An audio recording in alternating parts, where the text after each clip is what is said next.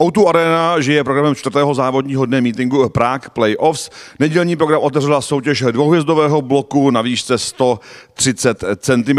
A jako 28. odstartovala domácí dvojice Epo van der Achterhekcet a Anna Helebrantová. Dnes už před startem Epo hodně nervózní, dvě taková uskočení ještě před startovní linií. Upřímně překvapilo mě to, protože Epo většinou na nic nekouká, ale myslím si, že koukal na ty Longines bannery, kde byly vlastně velké hodinové ciferníky, což ho vlastně víceméně hodně rozhodilo před tím startem a pak se to s námi vezlo celý parkour. Že je po hodně rychlý, takový hodně dopřední, toho známe, to víme všichni, ale dnes to bylo takové hodně eh, zbrklé, nervózní. Ještě se mi, můžu říct, nestalo, že by takhle moc koukal na nějaké banery, ale jsou to živá zvířata a každý den se jinak chovají, takže musíme počítat i s touto variantou. První chyba už v úvodu na dvojce. Co se tam stalo? Mně už se nepodařilo vlastně najít jedničku tak, jak bych si představovala, pak jsem se nerozhodla, jestli udělám sedm nebo osm cílových skoků, takže ta na dvojce byla úplně moje a zkrátka nepodařilo se mi chytnout dobré tempo. Čtyřka, další chyba? Ano, tam jsem opět po tempa, jak jsem skočila dvojku, přišla jsem blíž po trojku, pak jsem se snažila docválat čtyřku, což se mi také nepodařilo. No, dneska to nebylo nic moc.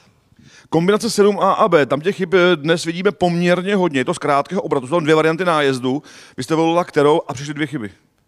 Uh, volila jsem uh, tu delší, protože už jsem věděla, že budu mít dvě chyby, ještě jsem neměla třmeny, takže to bylo celé takové kostrbaté, ale Epo se zasnažila a tam to zachránil. Oblouk na levou ruku a osmička a tam konec.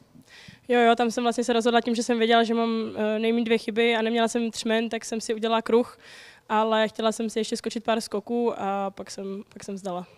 Dnešek úplně nevyšel. Nicméně, EPO tady v Outu areně v dvakrát první desíce, jednou na dekorovaných místech, třetí, jednou šestý, takže asi spokojenost.